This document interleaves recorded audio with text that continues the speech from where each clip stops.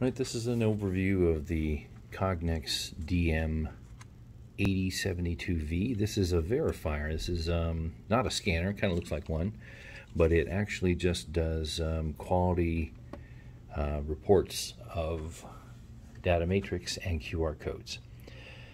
It is uh, something that can actually produce a PDF report for archiving. It's um, good to qualify the capabilities of your marking or print system. It comes in two different versions. One is, they look identical. Um, one is a USB connected device and one is an Ethernet based device. And I thought I'd go quickly through what those components look like coming out of the box.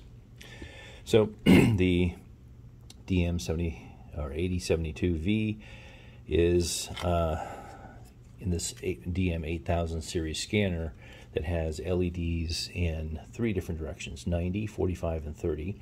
So you can do verifications at any of those uh, light angles. It also comes with a little plate, a little standoff plate that uh, catches on the bottom and clips on the top.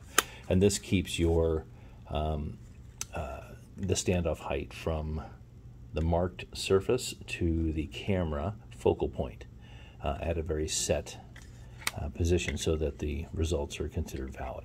Okay, so anyway, that's our that's our our um, verifier itself. It comes on the handle.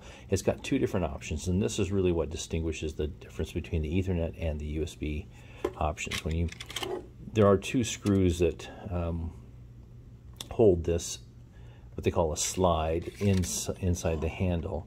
And uh, when you buy this from the ID Integration, we'll already have it assembled with the cable. But if you were going to swap it out, there is uh, there are two different types here.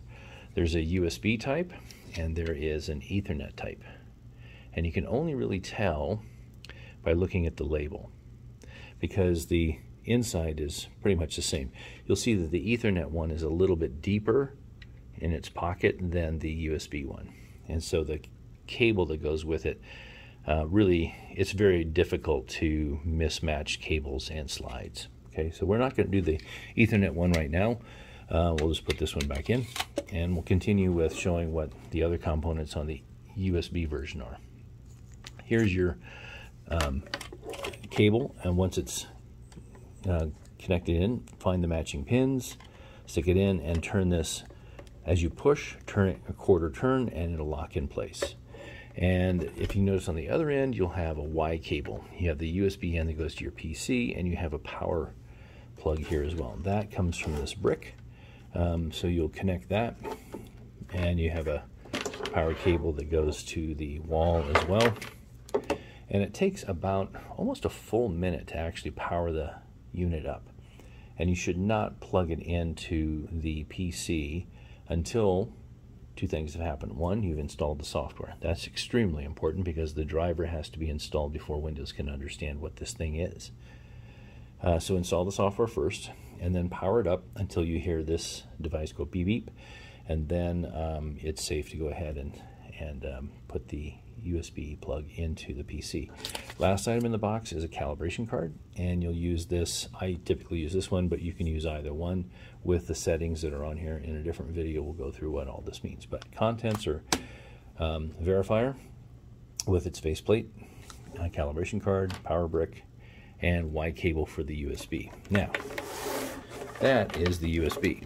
So if I were to do the Ethernet one, it looks pretty much the same, except I've got a Ethernet slide, and again, two screws that um, are fixed with the wrench that comes in the box.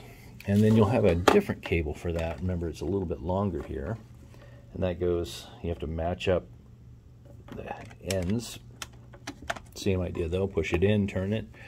And now you just have one cable, not a Y cable for power. And you use that with this power over Ethernet brick. And again, from ID integration, we go ahead and we add another label here to try to clarify what goes where. So the uh, DM8072V plugs in here, and then this one, you can add a separate um, Ethernet cable You can use your own patch cable or you can buy one from these guys as well. And it's just a normal patch cable plugs in here and then goes to the wall or router or switch. So power again is provided with a USB cable that plugs into the wall and then provides the, I think it's 6 volt, um, uh, yeah, 6 volt and like something like uh, 3 amp or something like that. It's fairly beefy. Anyway, that, that's the difference here between the two. Of the two, I prefer the Ethernet one. Uh, it seems to be easier to configure. And the biggest problem we've had with the USB ones is that they come with a driver that can conflict with uh, some other products that are used in the marking world. Because um, it's kind of a USB virtual COM device that then gets mapped to a, an internal IP address. It's kind of a funky driver. Been around for a while, but there's just other companies that do something similar. And if you have two different devices plugged into the same PC, they conflict. So more trouble-free connectivity I'm getting through the, uh, the Ethernet-based one. Okay.